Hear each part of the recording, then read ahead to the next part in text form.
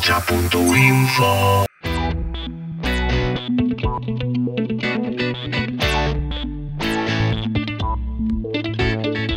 Neri, eh, pandemia iritsi zenetik berriro ere, eh, aztaleratu zaidana, naiz eta beti aztalean euki, baina, da eh, aserrea gure sistema politiko eta ekonomikoarekin. Osea, nola da posible, eh, ez, eh, pobrezian, violentziaz gainezka dagoen gizarte bat, horrekiko aserrea nola dan posible agertzea bakarrik eh, muturreko kasuetan. Salbuespena iristen ez den arte, ez dugu gure aserre hori eh, azaleratzen, ez, edo behintzat antolatzen.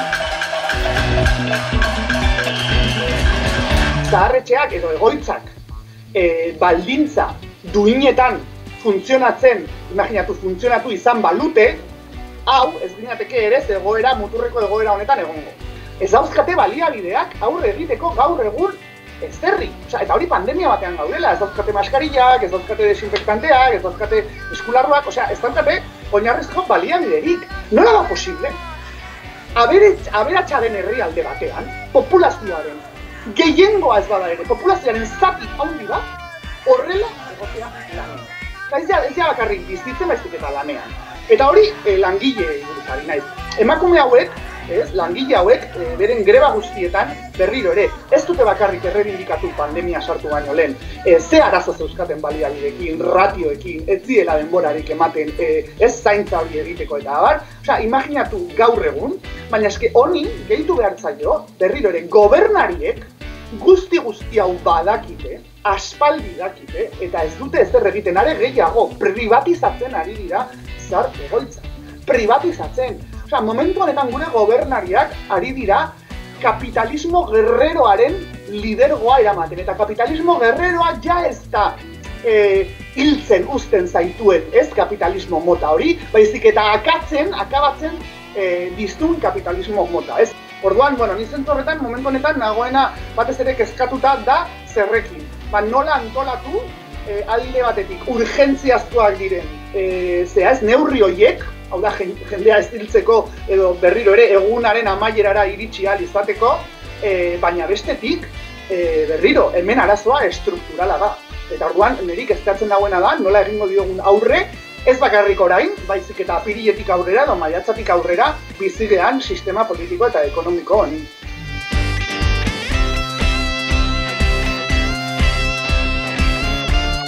Ni pertsonalki oso pozik nago, e, mugimendu feministaren, Euskal Herriko mugimendu feministak egin duen e, deialdiarekin, ze urgentziazko e, neurriak e, kudeatu alizateko eta jarri alizateko, ez? Eta orduan, helburuetako bat zen interlokuzioa lortzearena. Bai, ze, eta nik hori partekatzen dut, ez uste dugu, uste dut interlokuziorik gabe, mugimendu feministak ez dalen mauka interlokuziorik, oso zaila izango dela berriro, honi erantzun estruktural bat ematea. Bai, ze horretarako behar dezu intzidentzia gaitasuna, e, eta intzidentziarekin batera behar dezu alde batetik diskurtso eta marko oso argi bat, hau da, plazaratu eta sozializatu nahi den diskurtsoa oso garrantzitsua da berriro ere esan dezunagatik, interpretatzeko bizitzen ari geran hau arazo estruktural bat bezala, eta ez koronavirusaren e, arazo e, kojuntural bat bezala, eta bi, Behingoz, e, gure herriko e, eragile desberdinak, alderdiak, sindikatuak, mugimendu sozialak, kooperatiba e, mundua eta abar, bat egin dutelako guzti honekin, eta orduan nik uste dut, orain eskuartean daukagun, e, bueno, eta egingo den mai e, hau, izango dela lehen pausu bat, hain zuzen ere, mugimendu feministak zeukan helburuetako bat lortzeko, baina baita ere sindikatuek, karta sozialak, eta guzti hauek zeukaten helburua e, bete ahal izateko. Eta da, alde batetik sistemaren publifikazioa, osea, bai hezkuntza, bai e, osasungintza, bai garraio publikoak, bai zerbitzu publikoak guzti hori, eta bi, diskurtsoa aldatzea. Gure sistema politiko eta ekonomikoak erdigunean kapitala jartzen duela, eta egun hauetan hori bai jende asko ikusten duela, eta ez bizitza. Eta honekin e, amaitu behar dugu.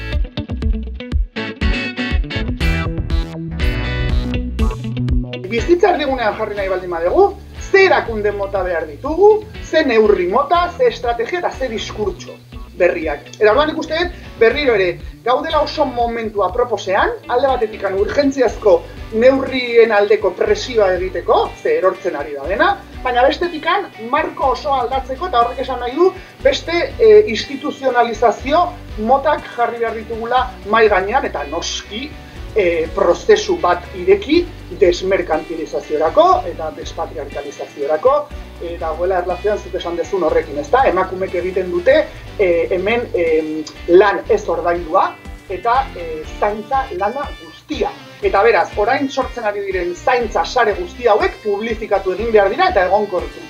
Osea, hau izan behar da e, gure sistema, zaintza sistema publikoaren parte.